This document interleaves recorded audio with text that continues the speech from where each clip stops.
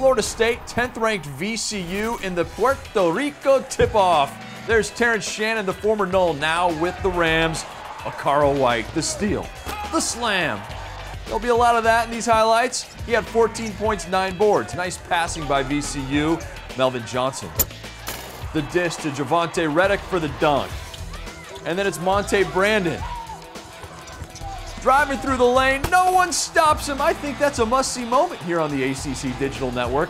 14 points, 11 boards for him. More for Brandon just before the clock runs out in the first half. 48 36 Noles at the break, second half. Ian Miller.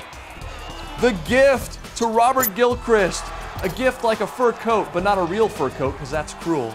FSU up 20. Ian Miller knocks down the three. 22 points, seven boards, four dimes for him. A big FSU win. In fact, the best win for the ACC so far. Next up in Puerto Rico for the Noles, number 14, Michigan. I'm Jeff Fischel with the ACC Digital Network. Coming November 25th, the ACC Digital Network presents The Greatest, a series revealing the top 10 ACC quarterbacks of all time as decided on by a panel of ACC football experts.